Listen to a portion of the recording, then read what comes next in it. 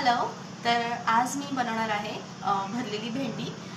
भरलेली भेंडी तीन चार प्रकारे बनवता येते. एक तर तिच्यामध्ये मसाला भरून त्याच्यानंतर डाळीचं पीठ भरून किंवा दाण्याचं कूट लावून. तर मी आत्ता दाण्याचं कूट लावून भरलेली भेंडी बनवणार आहे. खूप छान लागते. भेंडीचे खूप सारे पदार्थ करता येतात. अगदी ताकातली भेंडी वगैरे खूप छान छान असतात. एक एक करून मी सगळे रेसिपीज तुमच्याबरोबर शेअर करेल. बट आज मी भरलेली भेंडी घेतली आहे.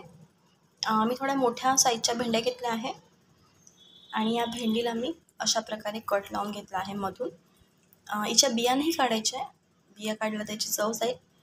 तर मी अशी अशा भेंड्या घेत सगळं कापून ठेवलेल्या आहे आणि आता मी इथं मिक्सरचं भांडं घेणार आहे. अगदी फटाफट होते ही रेसिपी आणि त्याच्यामध्ये मी दाण्याचं कूट टाकणार आहे लागत लागत.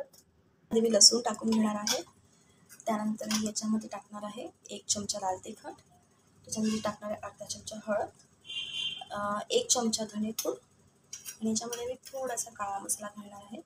एक चमचा काळा मसाला. आणि मग त्याच्यावर मीठ घालणार आहे चवेपुरता.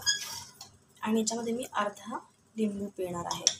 आता मी हे जे मिश्रण आहे हे आता मी मिक्सरला काढून घेणार आहे सगळं. त्यात हे जे सगळं मिश्रण आहे ते मी मिक्सरला काढून घेतलं आहे. आता मी याला ताटामध्ये काढते आहे.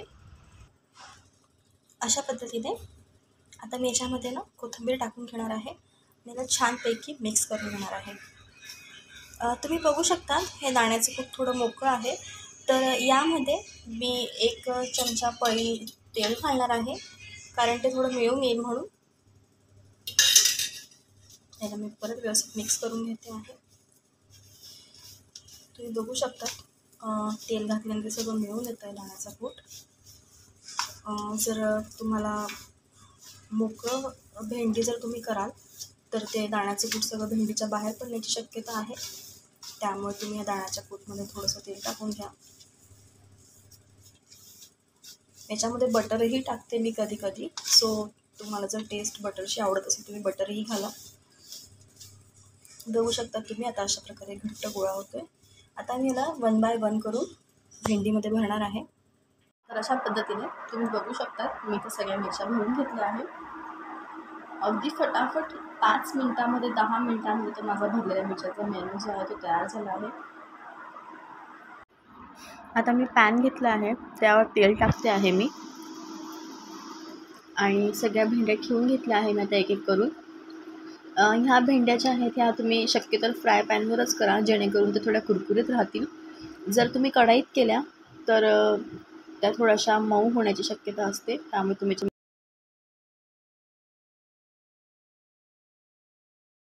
बघू शकतात. अशा प्रकारे ही जी भेंडी आहे हिला मी थोडं थोडं पलटून घेणार आहे आता. तुम्ही बघू शकता इथं जो मसाला आहे तो पलटल्यावर देखील निघत नाही आहे तर हेच बेनिफिट आहे लिंबू आणि तेल टाकण्याचं याच्यामध्ये. तुमच्या भेंडीचा जो मसाला आहे तसाच तसा राहील आता ही भेंडी होत आली आहे. तुम्ही बघू शकता अगदी दहा मिनटामध्ये ह्या ज्या भरलेल्या भेंड्या आहेत ह्या माझ्या रेडी आहेत.